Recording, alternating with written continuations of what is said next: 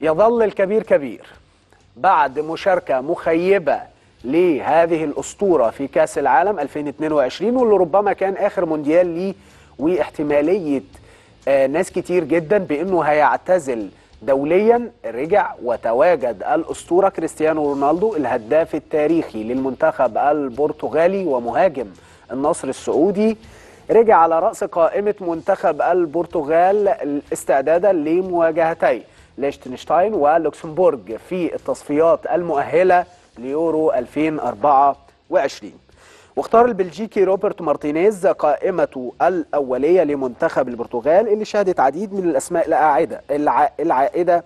أبرزها دييجو جوتا مهاجم ليفربول الإنجليزي اللي راجع من إصابة بعد غياب عن نهائيات كأس العالم في قطر 2022 طبعا منتخب البرتغال هيلتقي مع ليشتنشتاين يوم 23 مارس الجاري. على ملعب جوزيه ألفالادي في لشبونة ثم يحل ضيفا على لوكسمبورج يوم 26 مارس ضمن تصفيات اليورو اللي بتضم مجموعة البرتغال فيها كل من أيسلندا وسلوفاكيا والبوسنة والهرسك. طبعا هتبقى ممكن تبقى بالنسبة للمنتخب البرتغالي مجموعة سهلة. طبعا فاكرين كلنا آخر مباراة رسمية للمنتخب البرتغالي كانت في كأس العالم ضد المنتخب المغربي الشقيق.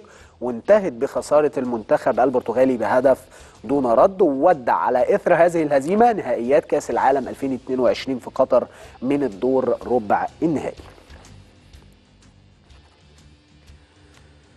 في فرنسا تفجرت مفاجأة كبيرة في الساعات الأخيرة بخصوص حقيقة مغادرة الأسطورة ليونيل ميسي ميران فريقه باريس سان جيرمان بعد خلاف مع مدربه كريستوف جالتيه على عكس طبعا تقارير كتير جدا فبحسب. Get French Football News فإن ميسي غادر. مران باريس سان جيرمان بعد شكوى من إصابة عضلية.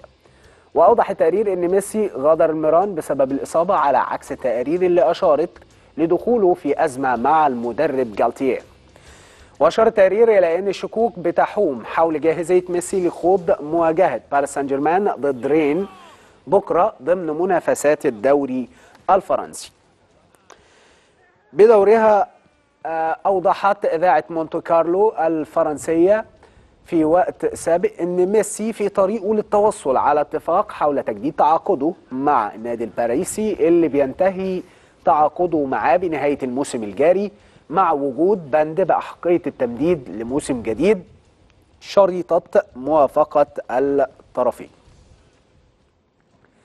ده طبعا بيجي بالتواكب مع الخبر اللي كشفت عنه صحيفة ماركا الإسبانية بخصوص نية نادي الهلال السعودي لتقديم عرض من أجل التعاقد مع ميسي في الموسم المقبل براتب سنوي مقدر ب 220 مليون يورو ودي نفس القيمة اللي بيحصل عليها كريستيانو رونالدو في نادي النصر السعودي. ولكن والد ميسي والسيد خورخي ميسي نفى من ساعات عبر حسابه على انستجرام هذا الكلام وقال عليه إن دي مجرد أكاذيب.